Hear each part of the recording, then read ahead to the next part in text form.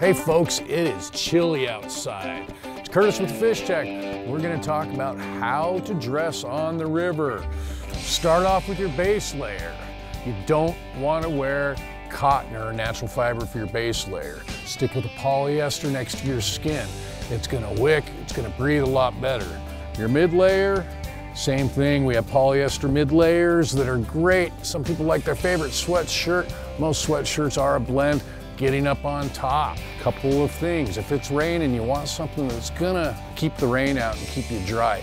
Gore-Tex or breathable Toray nylon works really good.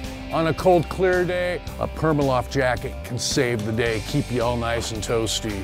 As far as your feet go, once again, a liner sock, not a natural fiber, something polyester, and then a merino wool sock goes over that.